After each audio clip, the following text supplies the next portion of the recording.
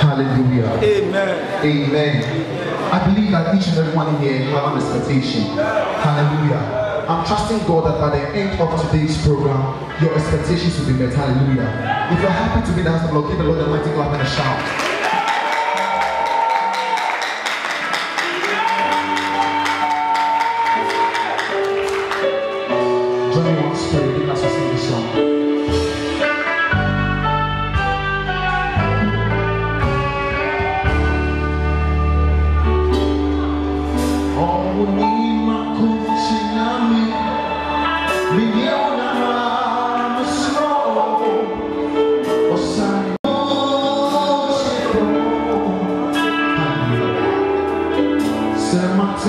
Tafuta sinara, awera